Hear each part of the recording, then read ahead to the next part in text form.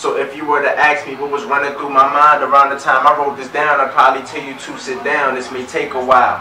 With every Fortune 500 high horse delivering its genocide through infomercials and commercials and political informants and these news channels broadcasting shit that ain't important. I couldn't see an end to all the drama. Black nigga from the pop culture. Unfortunately, I don't mean Madonna.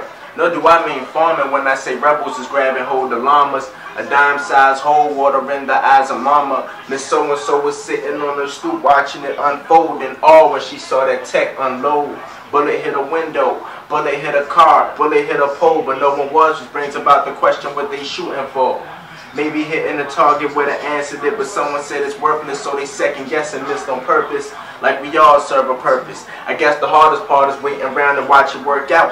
But niggas more concerned about sweating perms out, getting shermed out, who at the club and what they heard about, what they had on. In other words, the shit that I don't worry about. About it, about it, are you? And since you lead the crew, does that mean your niggas are too? I doubt that. 33% is bitches, 33% is pussy. The last 33% is shook. That last 1% is real. And I'm putting on display all of the world's ills. And even if I didn't, someone will. But fuck that. They feel me, so I did it. So can I please finish? This world is cold as Arctica. Polluted air barfing up this carbon and I vomit. If you were eating, I'm sorry.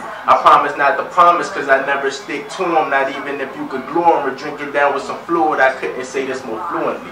Nigga, I was taught to dream. And my dreams look like matinee screens. Waking up torn nowadays cause R&B sound like soft porn dabbling in hardcore. And we conceive our kids to that shit.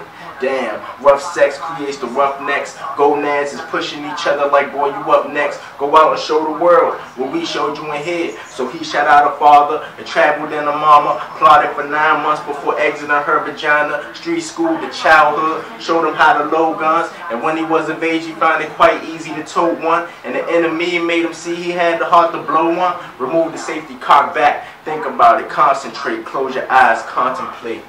Is it worth it?